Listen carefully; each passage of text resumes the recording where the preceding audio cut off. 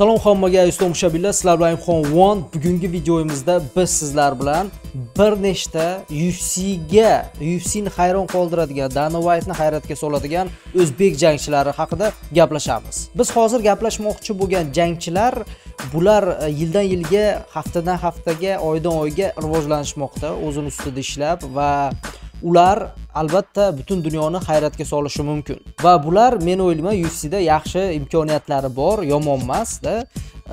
Va biz bugun aynan bularni yaxshi kuchli tomonlari haqida va balkim yomon tomonlari haqida ham gaplasharmiz. Birinchi bizni katta ehtimol bilan ufcda e, yaqin e, yillarda balkim jang o'tkazar ufcga kirar kontrakt tuzar birgalikda ramazon temirov yo'g'onligi bilan va o'zini bo'y basti bilan ajralib turadi.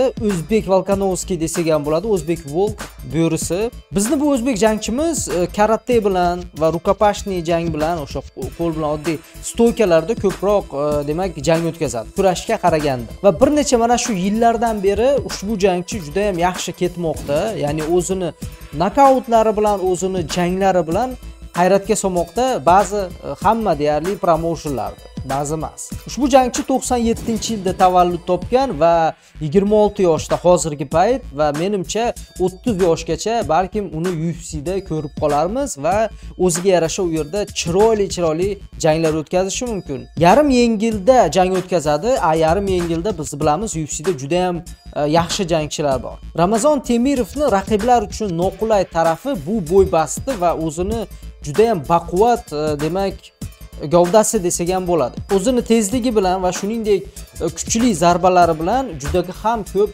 nokautlar bilan g'alaba qozonadi va o'zini raqiblarini e, shokka olib keladi qisqa qilib aytganda. Va men o'ylayman shaxsan bu meni fikrim. Yaqin orada shu bir necha yildan keyin oydan keyin balkim bu yili umuman olganda ufcga uni kontrakt tuzishi ufc bilan juda yam katta ehtimol bor. Va albatta u ufc bilan kontrakt tuzadigan bo'lsa biz faqat xursand bo'lamiz chunki e, ufc bu e, dunyoviy mirovoy organizatsiya. Temurovni e, demak 16 ta g'alabasi bor va 2 ta mag'lubiyati bor. Juda ham yaxshi natija. Kutib qolamiz ufcda shunaqa topoviy juda ham chiroyli jang o'tkazadigan jangchilarga kommentariyadagi silka orqali balet qilishingiz mumkin emotsiya olib va ayibxon promogod orqali katta bonuslarga ega bo'lishingiz mumkin. Bir yarim million so'm. Kommentariyada silka va o'sha yerda omadingizni sinab ko'ring hammaga omad.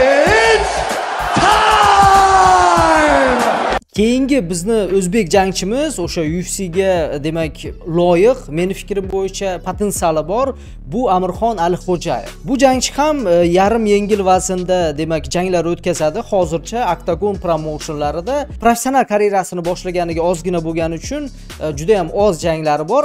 Lekin umuman olganda juda ham e, yaxshi ketayotgan jangchi desak ham bo'laveradi. To'rtta g'alabasi bor ikkita mag'lubiyati bor. E, ushbu jangchi o'zini gabaritlari uzunligi qo'llarini uzunligi bilan ajralib turadi. Ko'proq stoykada jang o'tkazadi va e, to'g'risi kurashdan unchalik darajada aytaylik yaxshi emas.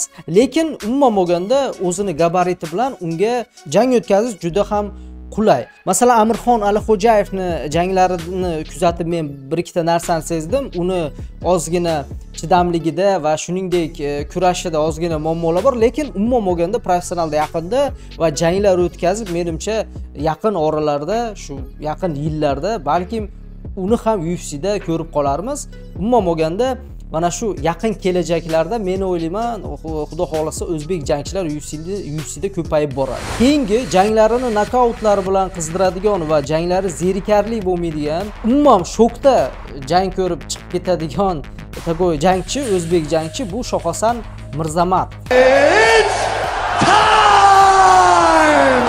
O'nta g'alabasi bor bitta mag'lubiyati va judayam chiroyli janglar ko'rsatyapti hozirgi payt.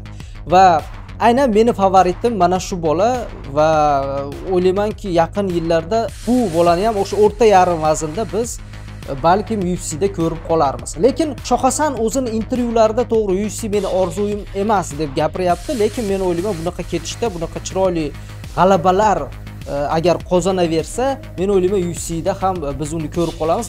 Umuman bo'lganda ufcda jang o'tkazish baribir yaxshiroq va o'zbekiston bayrog'i yana ham balandlarga ko'tariladi. Agar ufcda shunaqa chiroyli nokautlar bo'lsa janglari o'nta bo'ladigan bo'lsa sakkiztasi nokaut bilan yakunlangan e, o'rta yarim vazn uchun juda yam zo'r. Ya'ni nokauter stokada juda yam kuchli janglar o'tkazadi. Hali e, ushbu jangchini e, nima deydi zarbasini ko'taradigan jangchi topilmadi. To'g'risini aytaman shohasanni shoh hasanni kurashi qanaqa men bilmayman. Chunki biz bu bolani umuman kurashda to'g'risi bir yaxshi ko'rmaganmiz.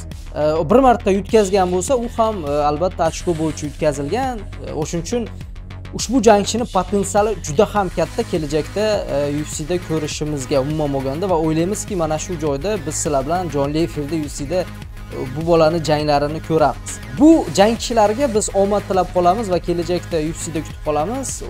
Va o'zbekiston bayrog'i baland balandlarga ko'tariladi degan umiddamiz.